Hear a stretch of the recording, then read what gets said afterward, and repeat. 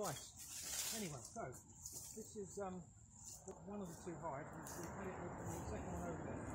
I brought this in as a new queen, um, as a new colony about three, three, three weeks ago, and we used um, an office water feeder because I because they don't know the area very well. The bees, obviously, they only just arrived. Um, I've had to supplement some food so they, they don't get too um, hungry. And I'm just smoking these a little bit further down to let them over here and they shouldn't get too worried 'cause if they do I'll smoke them some more. Smoke them. Right in my no, he's saying get out. Can you see, if you just come round and have a look, there's um, that, this box underneath was completely empty about three weeks ago and I fed them two gallons of sugar syrup with gar- garlic. Oh, like garlic. Yeah, with garlic, yeah, because it's a good antimicrobial and antibacterial. And um, we use it as a, med- as a general medication to help keep the disease down. So I don't feed any chemicals, any um, antibiotics or any um, pre-prepared veterinary approved medicines. But so we do a lot of recycling as well. So this is manufactured. Obviously, it's a nice wooden seal. It's cedar wood, and it's it's gonna it'll last for about 50 years. Um, but the interior box is uh, recycled polystyrene from the green uh, greengrocers. Is it me? Are they making it out of polystyrene? No, they, they, they, they, all this wax that's hanging down is, is from them. Oh, right, okay, same colour too. That's right, yeah. Yeah.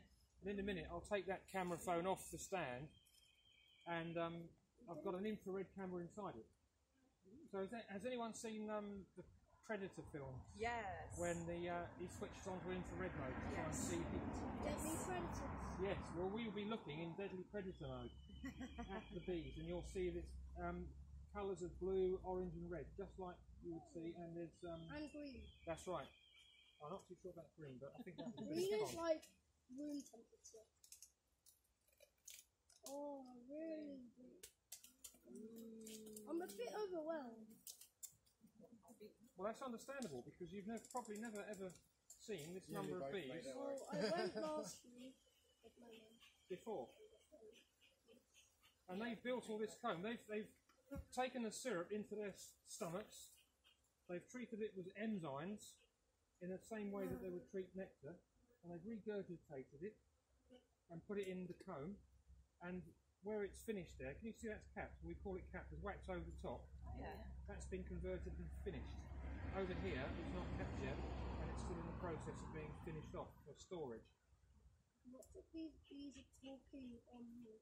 Well, there's a couple sniffing you, but Sniffing? well, yeah, they, they, they can detect there's someone different here today, and they come to discover who you are. Is it because it's a new No, it's because you've got a different body scent. But just stand there, try and take long, slow, deep breaths and relax, because they can also sense the pheromones, the body smells. So if you're a relaxed, chilled out sort of person, they don't like that. Will they leave me alone? Um, Yeah. They're quite chill. One, one's landed on my hand. Oh, I missed it. She's alright. And one's on the This is a very chilled hive. It's very docile. There's lots of bees flying around, but there's very few of them, if any, bothering to sit on you. There's one sitting on your hand, but back of your Yeah. thumb. Um, there's one on me. s- sensitive. He's not sitting on you. He's not attacking you. He's just sussing you out. He's trying to find a way in. I'm not the He's just touching your tail occasionally and flying around. Because you give off a little body heat, and it's cold outside, so they're very tempted to sit. You want to be warm, then there's to Test go it, the test sunlight. Good show. Are you sure? Am I seeing that? yeah. Yeah, I checked you before you. But I will again. Yeah.